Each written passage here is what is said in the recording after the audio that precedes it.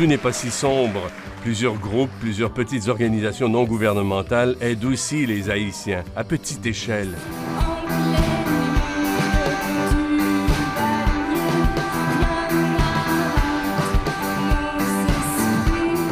Régine Chassagne du groupe Arcade Fire, elle-même d'origine haïtienne, est grande ambassadrice de Canpé, qui œuvre dans des petits villages, qui accompagne des familles jusqu'à ce qu'elles arrivent à se sortir de la pauvreté.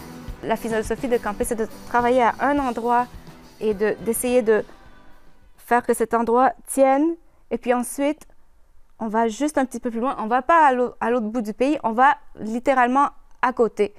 Et en essayant de, remonter petit à petit euh, le, niveau, économique de, des gens. Et après un an, je pense dans plus de 97% à peu près là, des familles ont gardé leur statut. Alors ça, pour moi, c'était un gros petit succès.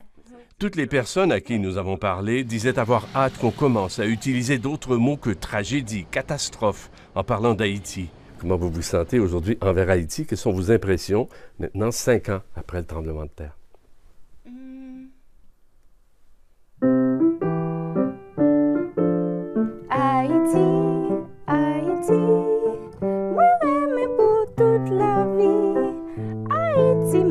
cheri，c'est d'un beau。